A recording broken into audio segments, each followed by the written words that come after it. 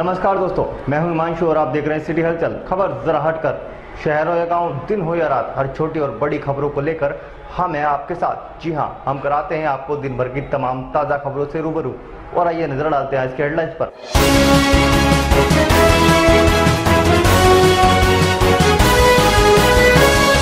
खतौली थाना क्षेत्र के मोहल्ला नई बस्ती में आठ वर्षीय बच्ची का अपहरण करते हुए एक युवक को लोगों ने रंगे हाथों पकड़ लिया, जहाँ युवक को लोगों ने पुलिस को सौंप दिया। वहीं मोहल्ला नई बस्ती के लोगों ने युवक के विरुद्ध कड़ी कार्रवाई की मांग की है। मोहल्ले वासियों ने बताया कि पिछले कई दिनों से मोहल्ले में तीन अज्ञात युवक घूम रहे थे, जिनसे पूछताछ करने पर बताया गया कि वह रिश्तेदारी में आए हुए हैं। वहीं शनिवार शाम एक मासूम बच्ची का अपहरण करते मोहल्ले वासियों ने उक्त युवक को पकड़ दिया पिछले कई माह से खतौली से कई बच्चे लापता चल रहे हैं। आशंका जताई जा रही है कि इसमें पकड़े गए युवक के गैंग का हाथ है।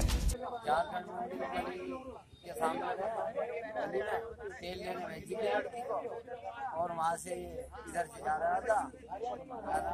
इसका हाथ पकड़ लिया लोग के साथ एक आदमी आया एक औरत आई। मैंने कहा भाई कहाँ ले जा रहा है इन्हें उन्होंने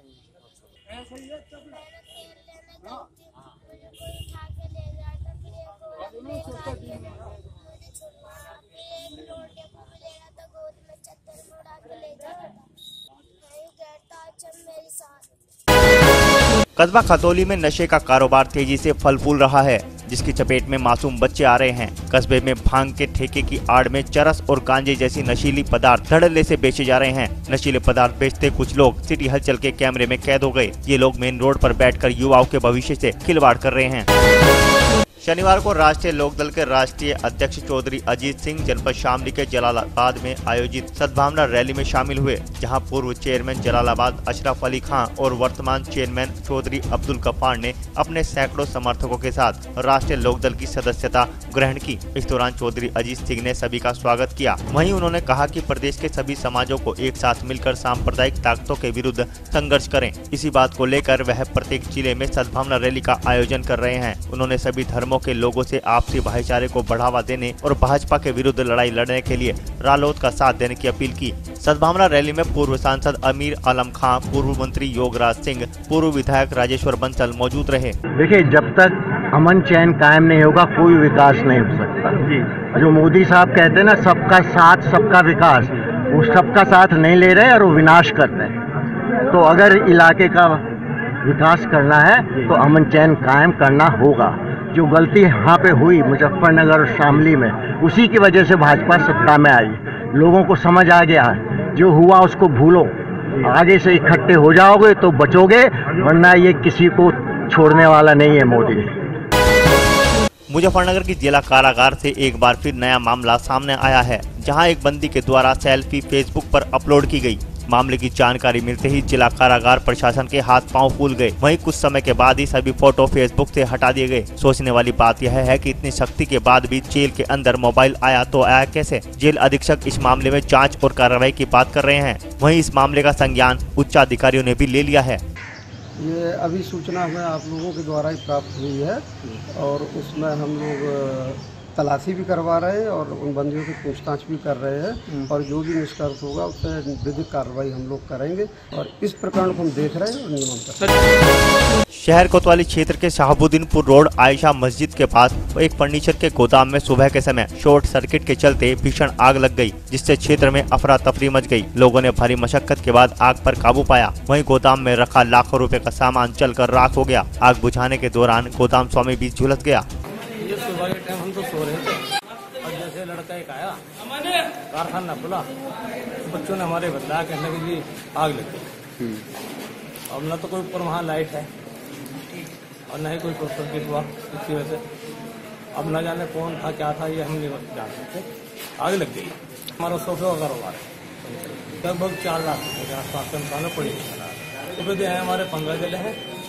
और ऊपर जो है बिल्डिंग में जो पत्थर वगैरह, टाइल वगैरह जो सब ब्रेक हुई है, कुछ सब। अभी हमने ओपनिंग भी नहीं की थी। रहने लगे थे निपटा के तो अभी करते हम। लेकिन ये पहले ही हादसा हो मस्जिद का है, हमारा अपना लगा हुआ था, बराबर के थे।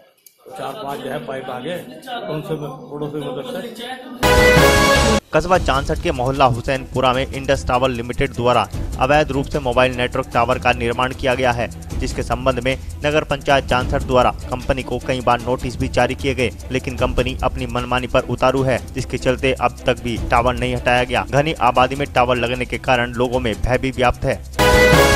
उत्तर प्रदेश के ज़िले लखीमपुर खीरी के सदर कोतवाली क्षेत्र के गाँव पिपरिया में एक निर्माणाधीन मकान में अचानक करंट फैल गया, जिसकी चपेट में आने के कारण दो लोगों की दर्दनाक मौत हो गई।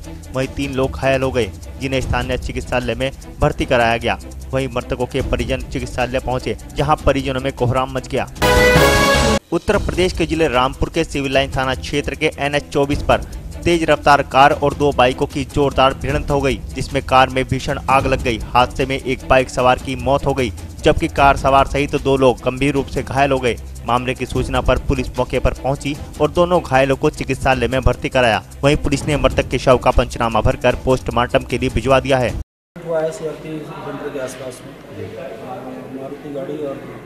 वो आया सी सेंटर के आसपास में मारुति गाड़ी थी और एक मोटरसाइकिल जिसमें दो आदमी गंभीर रूप से इंजर्ड हैं और एक गाड़ी शायद उसमें शॉर्ट सर्किट हो गया होगा उसमें या बहुत तेज़ ब्रेक लगाया होगा तो उसमें से उसमें दिक्कत जनपद बिजनौर के नगीना में सहकारी कताई मिल वर्ष 2001 में बंद हो गई थी, जिसका बकाया भुगतान आज तक भी मजदूरों को नहीं मिल सका है, जिसके लिए मजदूर संघ संघर्ष करता रहा है। वहीं सभी सहकारी कताई मिलों के मजदूर संघ के अध्यक्षों ने फैसला लिया है कि यदि उनका बकाया भुगतान नहीं किया जाता तो वह 19 मार्च को लखनऊ में आत्मदाह करेंगे। हाँ मैं कताई मिल यूनियन के अध्यक्ष हूँ, श्री राम सिंह, जो प्रदेश में ग्यारह कताई मिलें हैं। उस मजदूरों का तनख्वाह दो हज़ार चौरानवे से उन्नीस सौ चौरानवे से लेकर दो हज़ार दस तक बकाया है। उस बकाया तनख्वाह के लिए हम सरकार से मांग करते आ रहे हैं। हमारा बकाया तनख्वाह ब्याज से दिया जाए, क्योंकि पीछे महँगाई अधिक था, आज कम था, आज महँगाई अधिक इसलिए ब्याज से तो पैसा अगर नहीं दिया गया तो उन्नीस तारीख को लखनऊ विधानसभा के सामने, गांधी मूर्ति के सामने आत्मदाह किया जाए उत्तर प्रदेश के ज़िले रामपुर के टांडा थाना क्षेत्र के भगतपुर मोड़ पर पुलिस ने वाहन चेकिंग अभियान चलाया, जहाँ पुलिस ने चेकिंग के दौरान एक पिकअप गाड़ी से उनचास पेटी अवैध शराब बरामद की। वहीं गाड़ी चालक और अन्य दो लोग मौके से फरार हो गए। पुलिस ने गाड़ी और शराब को कब्जे में लेकर अज्ञात लोगों के विरुद्ध मुकदमा दर्ज कर लिया। वाहन चेकिंग एवं संदिग्ध की चेकिंग कर रहे थे। उसी दरमियान पिकअप में ये पिकअप आई और मुड़ने लगी। मुड़ने लगी संदिग्धता प्रतीत हुई तो उसे रोकने का प्रयास किया। जैसे ही जो है ड्राइवर छोड़ के भाग गया। अंदर देखा तो उसकी दारू की पैकेटें भरी हुई थी। ऊपर से खाली वो डाल रखे थे और भाग गया।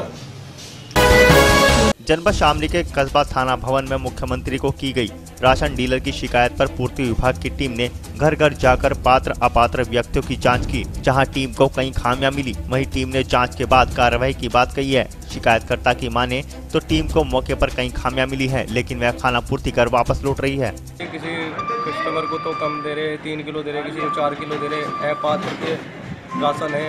पात्र के राशन नहीं है जो गरीब है। इसी वजह से मैंने शिकायत करी थी। हाँ खामियाँ पाई गई। सभी ने कहा है कि हमें तीन किलो मिल रहे हैं, किसी को चार किलो मिल रहे हैं। सबने कहा है। और पूर्व में भी पहले जाँच हुई थी, उसमें भी कहा था। लेकिन पता नहीं क्या बात है कि कार्रवाई वहीं की वहीं दबते रह जाती है। कस्बा जानसठ में दो अलग अलग स्थानों पर हुई मारपीट में दो लोग घायल हो गए, जहाँ गाँव कवाल में पप्पू पुत्र जहीरुद्दीन को उसके ही रिश्तेदार ने आपसी रंजिश के चलते मारपीट कर घायल कर दिया। वहीं गाँव सादपुर निवासी सुंदरलाल पुत्र मांगेराम को उसके पड़ोसी ने दो अन्य लोगों के साथ मिलकर मारपीट कर घायल कर दिया, जिन्हें सीएससी में भर्ती कराया गया। वहीं पुलिस ने तहरीर लेकर कार्रवाई भी शुरू कर दी है। जनपद शामली के कस्बा कैराना निवासी विवाहिता ने अपने पति और ससुराल पक्ष के लोगों पर मारपीट करने का आरोप लगाते हुए कैराना पुलिस को तहरीर दी है, जहाँ महिला ने बताया कि अतिरिक्त दहेज की मांग को लेकर उसका पति और ससुराल पक्ष के लोग रोज़ाना मारपीट करते हैं। महिला ने पुलिस से कार्रवाई की मांग की है। भी, देवर भी भी। हाँ दे रुपए भी दे रखे मैंने तो लोगों से ले लिया उधार उत्तर प्रदेश के ज़िले रामपुर की मिलक तहसील में भारतीय किसान यूनियन के बैनर तले किसानों ने उप जिलाधिकारी कार्यालय पर धरना प्रदर्शन किया, जहाँ किसानों और जनहित की तेरह सूत्रीय मांगों को लेकर एक ज्ञापन उप जिलाधिकारी को सौंपा गया। समस्याओं का समाधान न होने पर भारतीय किसान यूनियन ने अनिश्चितकालीन धरने की चेतावनी दी है। हाँ कुछ मांगों के संदर्भ में इन्होंने मांग पत्र दिया था। जिन जिन विभागों से संबंधित थे, उनको बुला के उनसे वार्ता करा दी गई। और हर बिंदु पे जो संभव है, वो बता दिया गया है। और आगे जो प्रस्ताव होंगे वो आगे भेज दिए आज की समस्याएँ इस प्रकार हैं। एक हमारा इंटर कॉलेज है यहाँ पर दो। एक सरस्वती सरस्वती विद्या मंदिर इंटर कॉलेज है एक जानकी देवी इंटर कॉलेज है और पटेल नगर के ऊपर ऊपर तैंतीस हज़ार की लाइन जा रही है। आ, वो इतनी खतरनाक लाइन है कि तीन चार फीट नीचे से खींच लेती है। तो उसके नीचे छोटे छोटे नन्हे मुन्ने बच्चे पढ़ते हैं और जनता भी वहाँ रह रही है। ये सब लोग रह रहे हैं तो बहुत बड़ा खतरा बना हुआ है, वहाँ बहुत बड़ी दिक्कत है।